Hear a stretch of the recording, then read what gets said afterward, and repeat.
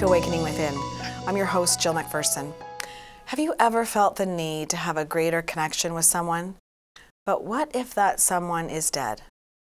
Perhaps you're familiar with shows like Hollywood Medium or The Long Island Medium and wondered can these people be real? Are these people really making a connection to our past loved ones? Well, to shed some light on this topic and to help us better understand how mediumship works, I have with me real life medium Mary-Anne Kennedy. Mary-Anne Kennedy is a published author, spiritual teacher, and acclaimed medium who is highly sought after throughout Canada. With compelling accuracy, she brings forward evidence, proof that your loved ones still exist.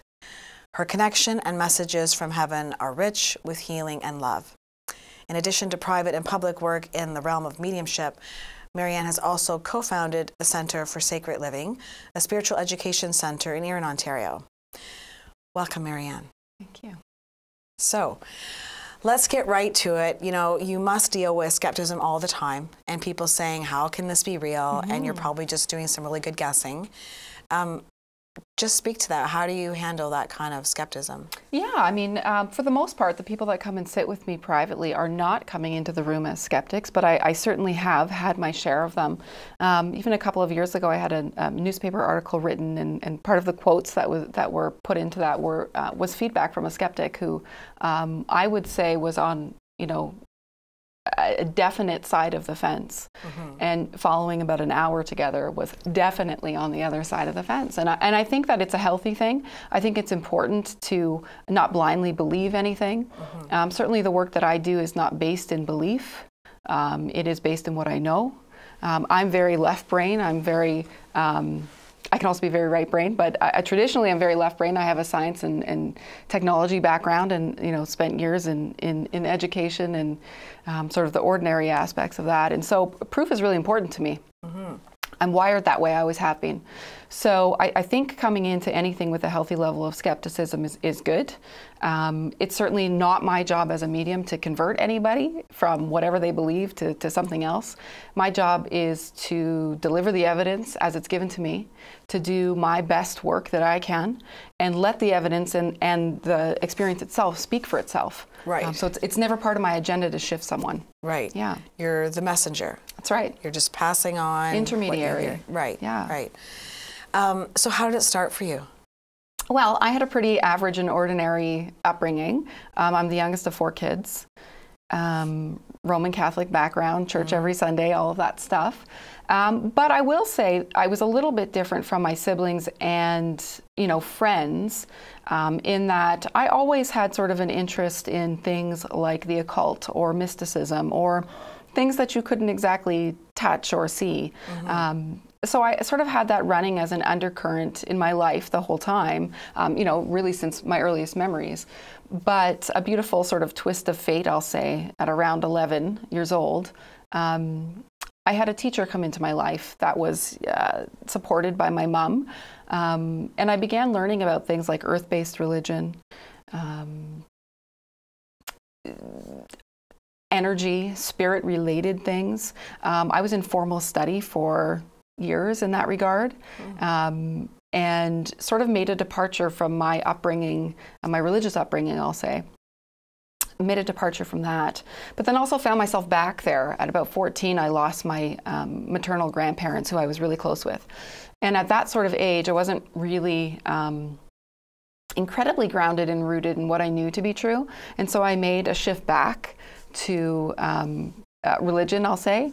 Um, and that worked for me for a little while. But that undercurrent reappeared again in that there is more to life, I will say, than what I can see. And so I was compelled in many aspects to go looking for what those things were. And so I've spent most of my life doing that. Wow. Yeah. So then, at what point did you feel like you were getting messages? Yeah, it's like great. So I never at any point thought I was getting messages. Um, that's not how it worked for me. Um, you know, of all the work that I did as a young person in learning about energy, um, having a meditation practice as a really young person, and watching the transformation, you know, that that created in my life, even as a teenager. Um, of all of those experiences, I never had a desire to communicate with the other side. I just didn't. I, I knew my grandparents were okay. Um, I had had a visitation from them. which I think most people experience, or a lot of people do anyway.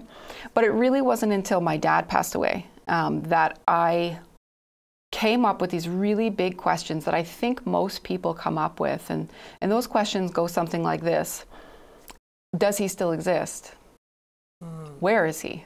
Mm. Is he okay? Right. If he's okay and he's somewhere, can he let me know that? Right. Because I was really compelled out of loss to want to learn to communicate myself. Right. So for me, it was a choice. So it wasn't so much about being born as a medium. And I think that some people are, I'll say air quotes, born because they have awareness of spirit people really early on in life.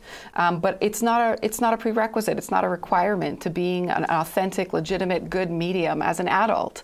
Um, it certainly wasn't my experience to have that. It wasn't until I made the decision and I went through a formal learning process and also a tremendous amount of personal growth and healing in order to be a clear and valid intermediary between the worlds. Right, because if you're dealing with a lot of your own personal issues, it kind of like has having you know static on the phone line, so to speak. Yeah, right? absolutely. Yeah, I like to describe it sort of like this. If we think about, um, you know, the average person has something around, you know, what is it, 25 to 50,000 thoughts in a day, something in that ballpark.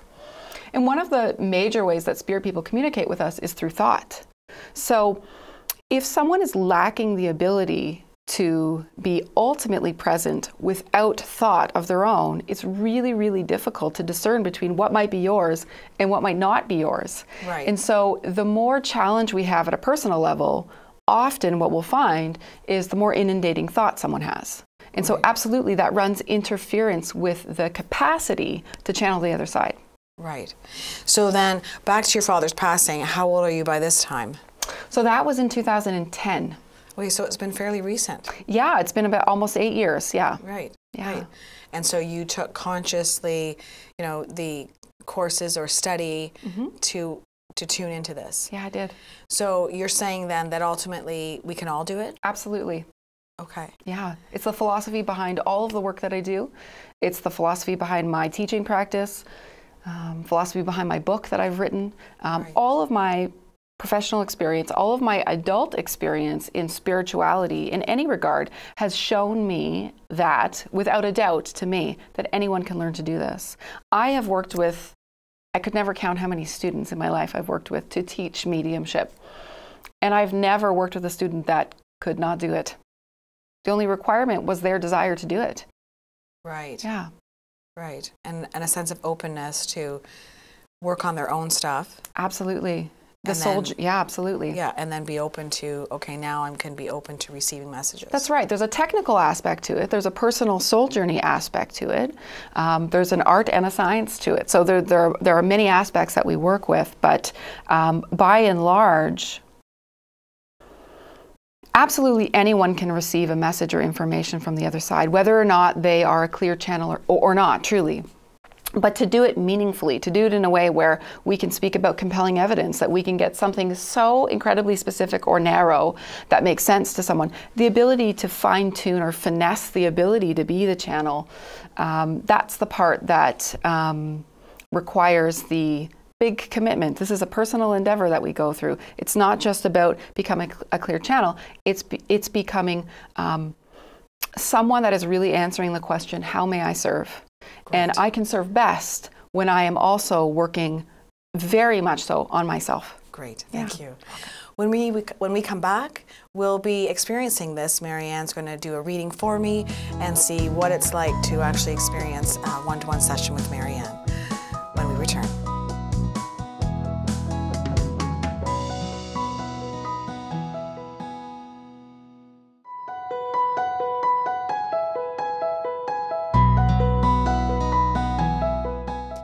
Welcome back to Awakening Within. I'm your host, Jill McPherson, and today's show I have a guest, a spiritual medium, Mary-Anne Kennedy, who um, is now, we've, we've discussed a little bit about this, and now she's going to do a reading uh, for me. I've asked her if she's willing to do that. So um, she is, and we're just going to give her some time to, to prepare and see uh, what comes up.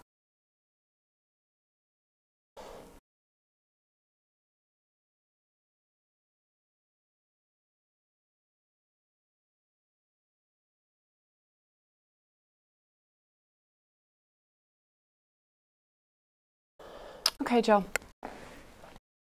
I want to talk about a little person around you. The first glimpse of any image that I'm seeing is something like a very light hair color, something similar to like you or I. Maybe slightly darker, but there's a light hair color coming in. It does feel like there's a female reference that I need to talk about here. And when I talk about this, all I can hear is finger snapping. When I hear finger snapping, this is my symbol that one, if I talk about their passing, that it would either have been very, very quick or sudden or unexpected. So to begin with, I need to under, ask you if you understand any of that. Right, yeah, someone's coming to my mind right now. Okay.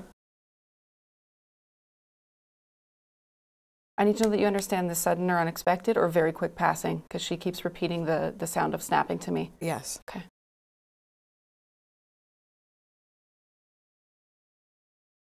Hmm.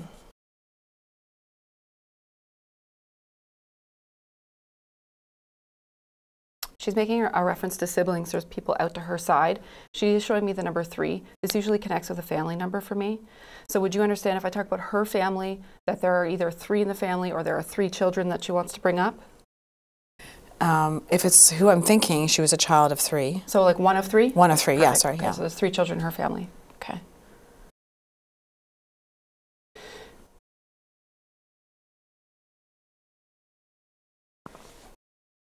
She is bringing up to me actually lots of things, so I'm going to have to slow this down a little bit. First thing I want to say is that there's a birthday, there's an important family birthday, and it's either just happened or it's like coming up in the next couple of weeks. But there is a birthday reference coming up here. Do you understand that? Her birthday. Oh, it's her birthday. Okay, perfect. She does also show me the number seven. So it's something about either a timeline of seven or the seventh of a month, but there's a seven reference coming up here. Um, one, is there something on the seventh of a month that's important to you? Or is there something related to like a seven year, in terms of seven years old, seven year timeline? There's something about a seven coming up.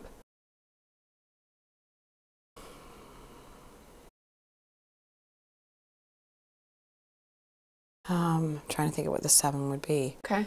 Um, it's it's six years since her passing. Okay. So Okay. Okay, so six since her passing. Okay.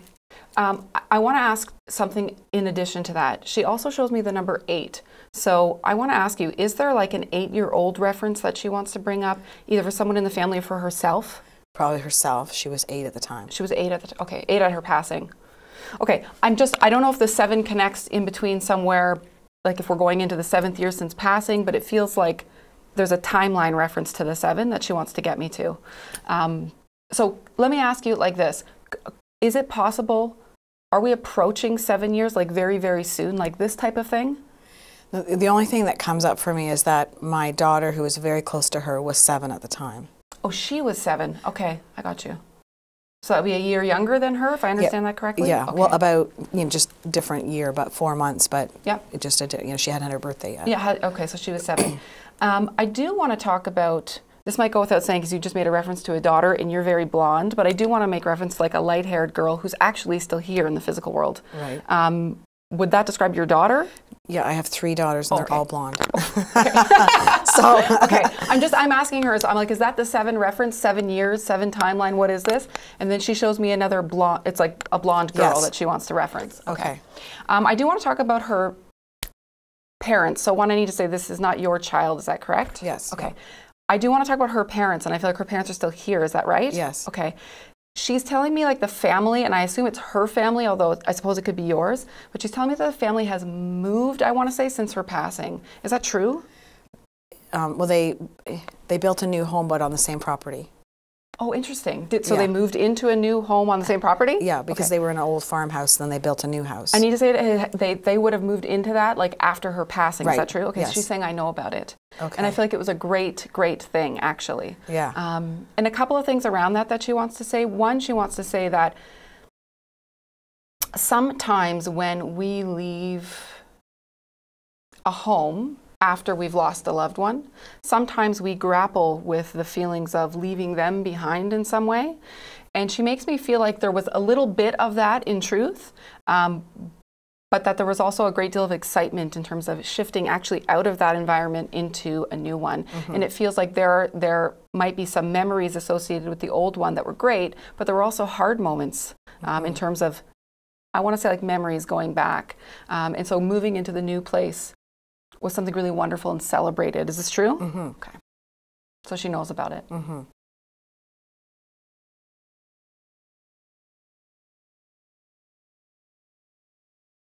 Um, has she got a brother? She keeps saying either brother or brothers. There's a brother reference. There's two brothers. Okay. She wants to say hi to them.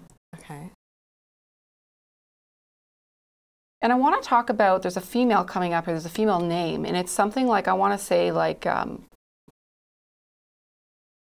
Kathy, Katie, something that sounds like uh there's either a C or a K reference, and it's a female name she wants me to talk about. Well, that's her own name. Okay, perfect. So Okay. do I tell you her name? No, don't Okay. tell me. You don't have to. Okay, okay. As, as long as it sounds, it, it's either a C or a K start. It's a female, and it sounds like I want to say C or K A. Yeah. Like there's an A as Yeah. opposed to an O or a Y. Yeah, It's a yeah. yeah. Okay, perfect.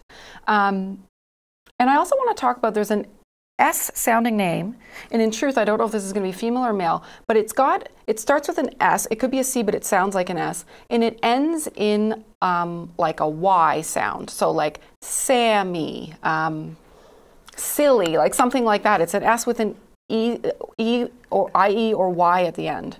Um, is that someone she might want to recognize either here or on the other side? Her mom. Okay, perfect.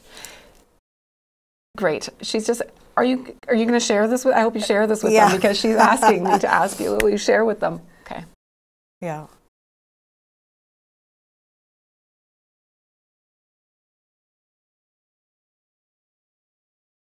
Mm, she's telling me that there's been something like a balloon release for her. Is that true? Yes. She was there.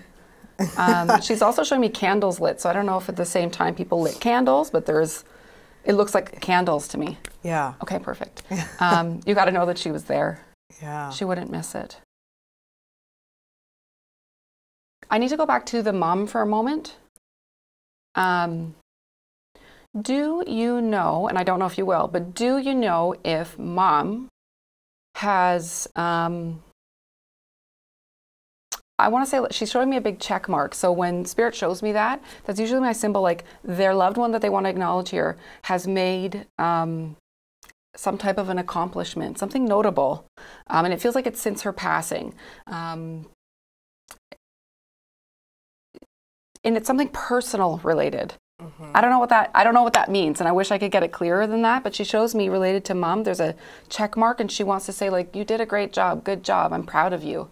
Um, do you know if there's something that her mom would have accomplished in that regard, like something personally, um, like an endeavor, like a feat accomplished? I I just have to say like it could be her mom her saying how well her mom has handled her own healing around this. Okay. You know, like yeah. I think that Do you feel like it would be like job well done? Is what yeah, she'd want to say like about I think that? she'd Okay. be saying Yeah, it feels very personal to the Yeah. mom. Like it's not a it's not a career oriented thing. It's No. not it's not like that. It's a very personal journey piece and she shows me the tick, which is you've done a great job. I'm proud of you. yeah. Okay. I think that Okay, perfect. Um, she's also talking about you. Okay, just dear. hold on.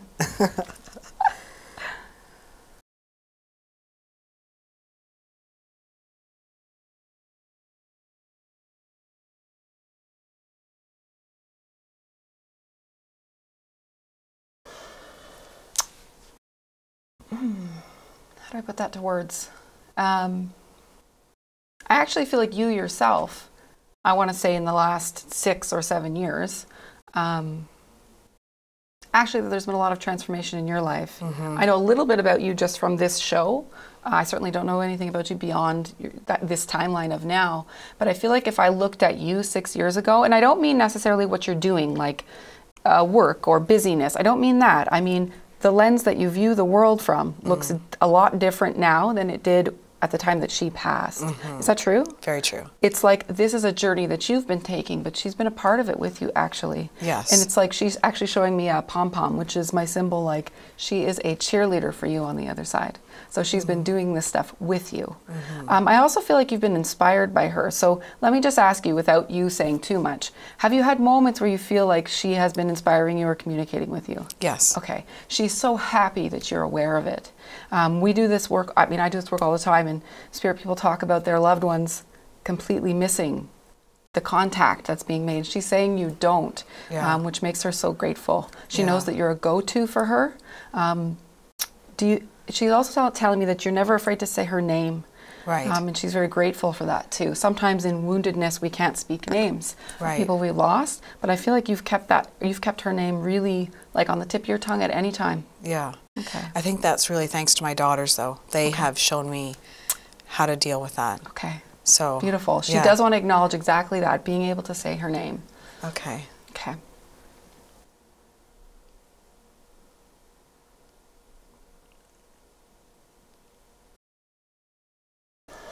So this is always interesting for me because when spirit loved ones bring up Christmas for me, um, it's a, such a generic thing that it I will never talk about a Christmas reference because they only bring it up if there's something extra special, extra different. Like, for example, a birthday's on Christmas, or there's something significant about Christmas beyond just family getting together. It's too generic, most of us do that. But actually, she is bringing up Christmas. There's something important around this date. I don't know if it's Christmas itself or if it's like a few days before, a few days after, but it's like in and around Christmas. This could be like a birthday, an anniversary.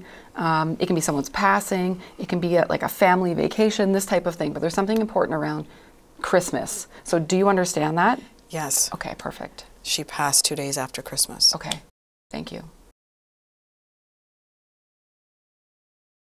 Okay, because she's just, it, it, entirely makes sense because she shows me almost like a, a, a mix. A mixed bag of emotions around Christmas. Christmas, yes. And that's true for most people who've lost loved ones, but especially if losing them was around that time. So there is a mixed bag of emotions that goes on for everybody around Christmas.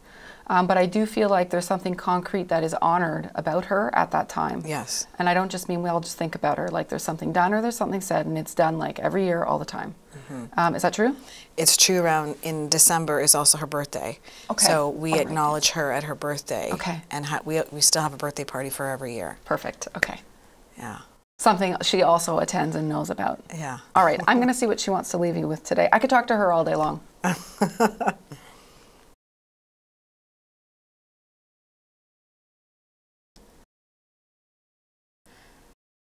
Or am I allowed to ask a question? You may be able to. Go ahead. So the thing that I personally struggle with is I feel like I'm much closer to her now when she's in spirit than when she's in body.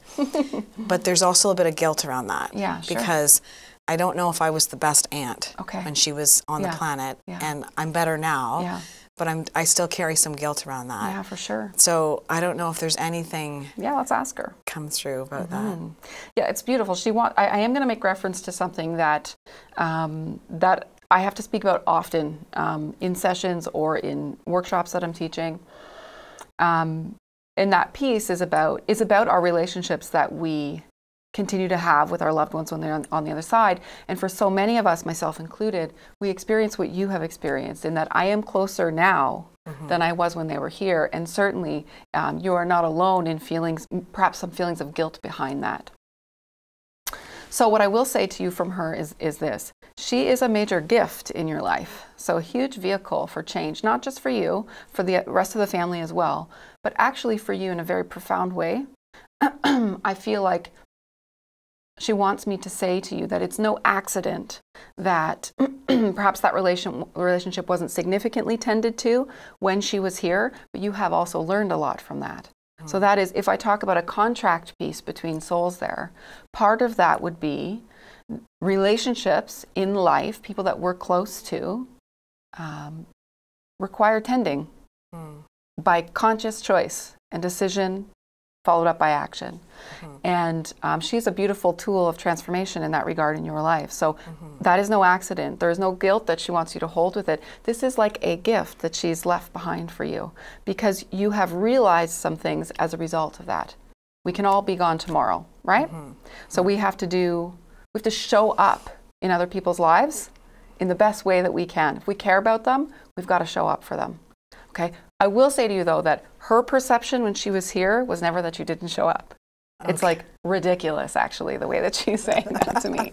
Um, so release that. That is more of a learning piece for you in this lifetime as a beautiful little bow that she left behind for you. Okay, thank you, Mary-Anne, for that. That was enlightening, and um, we'll discuss this more when we come back after the break.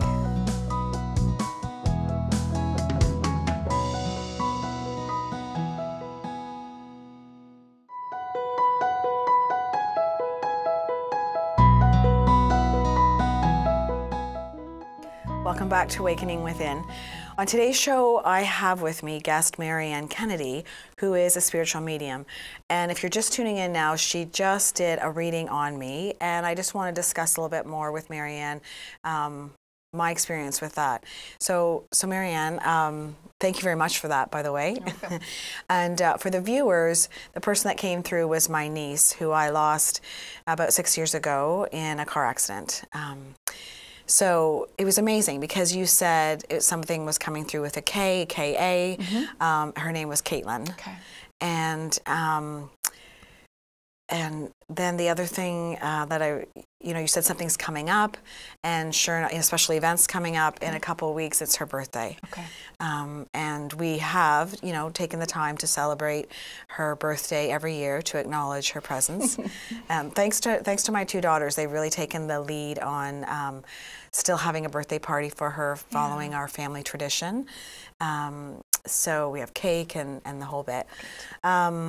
And then you said there was something really special around uh, Christmas or something significant around Christmas. Um, we did lose her on the 27th of December, um, and they were going up to a family Christmas event uh, up north.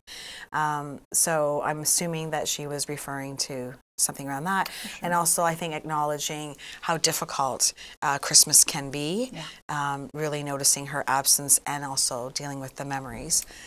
Um, you said there was something significant about an S with an E end sounding. Yes, yeah. And um, you even said it's sort of like silly, and uh, her mom's name is Sylvie.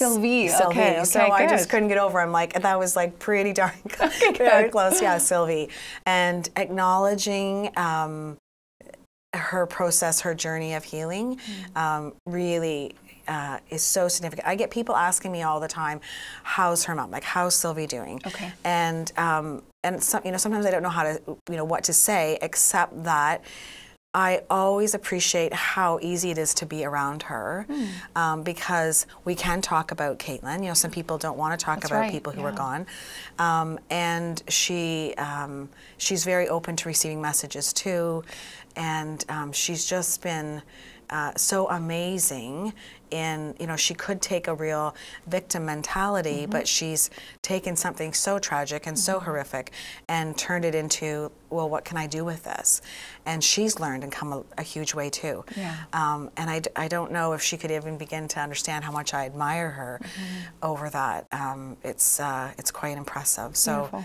So for Kaitlyn to come through and say that, you know, I, I say amen, Kaitlyn, to that. yes. That. So so this, I find, you know, I find this quite amazing, really, and um, and I appreciate the experience. Yeah.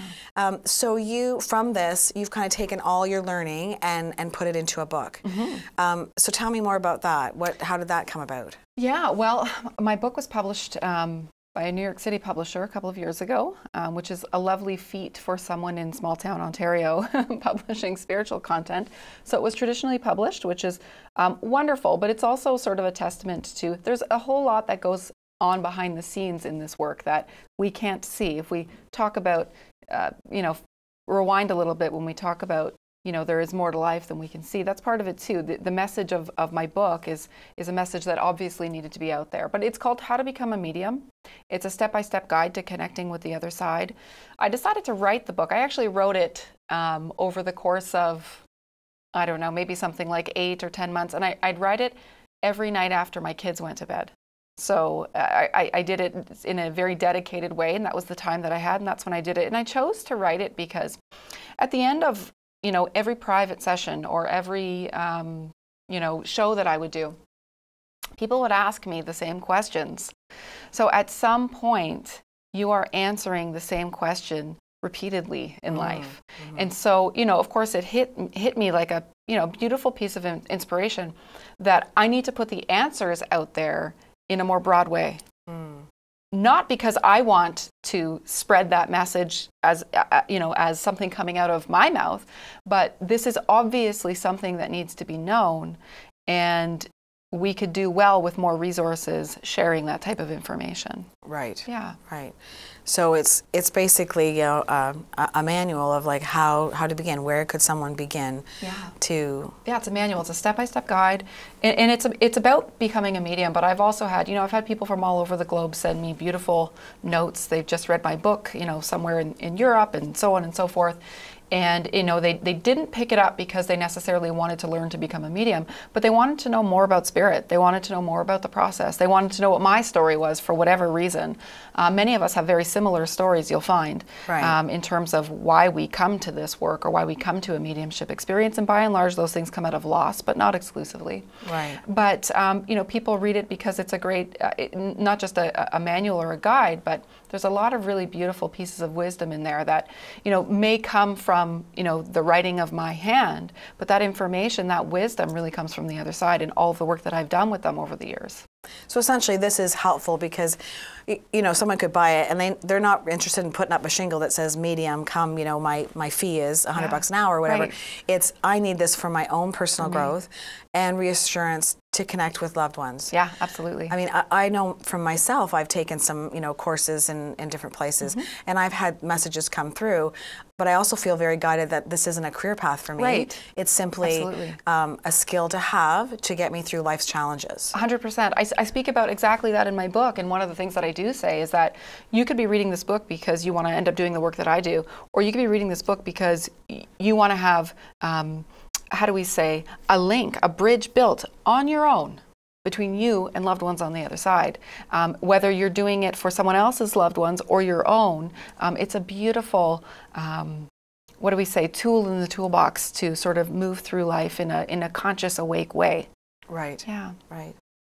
Um, so in the couple of minutes we have left, um, just summarize then so what is your is, is this your full-time career are yeah. you you know are you traveling are you mm-hmm. um, tell me a little bit more about that yeah absolutely this is this is definitely my full-time work um, this is all that I do. Um, I do teach, um, I, I, do traditional teaching um, in one semester out of a year for, for sort of a it sort of honors my traditional academic background. I still stay plugged into that in some way. But I, I do have my teaching center in, in Erin, um, the Center for Sacred Living, where I teach all of my courses.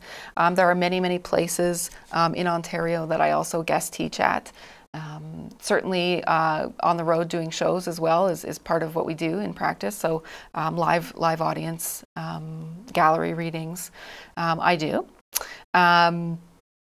I, I, I, also teach uh, continuing education in my community. I do teach spiritual content at that level, so it's a beautiful way to uh, plug in and, and, give to the community. Um, the work that I do in teaching is almost always, uh, you know, full all the time. People are really, really um, connected with learning new levels of wisdom and insight in terms of how to apply that into their life but learning those things but also really really interested in living those messages. And that's that's always a journey but if you're willing to start it's a beautiful place to be. So that's the work that i do yeah. Great. And we are so grateful for people like you who spread that message of of uh, we can connect with loved ones that have passed on Thank you so much for watching today's show. And if you want more information about uh, Mary-Anne, uh, her website is, remind me again? It is mariannekennedy.ca. mariannekennedy.ca. You can look her up and find out more about where she's at and look into purchasing her book. Thank you for being uh, here joining us. And remember that you too can connect with your loved ones.